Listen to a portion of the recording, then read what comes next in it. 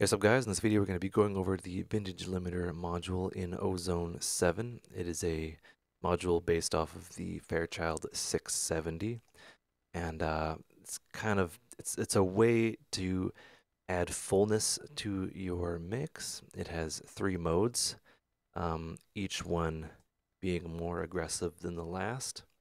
Uh, it has simple controls, you basically have a threshold and uh, a fast or slow release time. Now these are this is based off of a kind of tube uh, piece of gear, so it's not as linear as say a digital limiter, um, but it does sound pretty good. You basically bring the threshold down and uh, select your mode. I prefer you know tube, sometimes modern, uh, but what this does is this kind of catches the peaks a little bit um, and uh, adds kind of a nice warmth to it um, before you drive it into the maximizer. And I'll just give you an example here.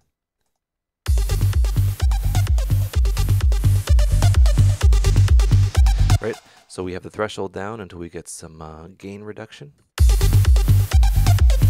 Right, and you notice that it sounds pretty full.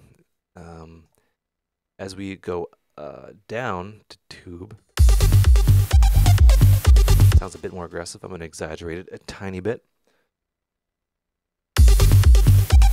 And as we go to modern, this is modern. This has this incorporates a uh, intelligent release, so it's kind of a a digital digital hybrid, digital analog hybrid, which is you know easy to uh, overdrive. So you got to dial it back easy to distort, I should say. Right, so you want this to just kind of catch the peaks, and uh, I like it because it adds it adds a bit of color, and uh, and it and it gets you know it gets the sound kind of to an overall loudness that you want uh, before you even get it to the maximizer, and it kind of it uh, it grabs onto the the peaks in a in a pleasing way. Generally, you want to bring the ceiling down a little bit, maybe two or one, um, so that way you're you know you're not clipping into the uh, maximizer.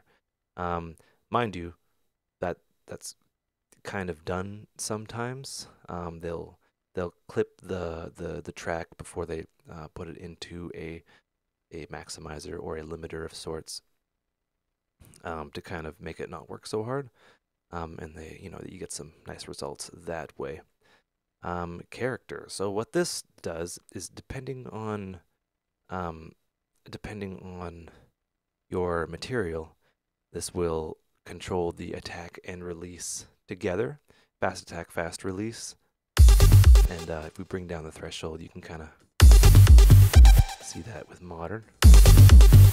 And we can kind of slow it down to the verge of maybe get some pumpiness down there. Remember I said before that pumpiness is kind of not what you want. Generally, the the character fast, well, the the release, you know, by default, um, is pretty good where it's at. And uh, yeah, um, that is basically it. Um, simple controls, but a lot is kind of going on under the hood. Um, meaning, you know, the what it does to the the transients and the attack and release aren't linear. Um, and what makes something sound analog or vintage is uh, non-linearities. Anyway, uh, hope you learned stuff. Uh, we'll be back. Take care and have a good one.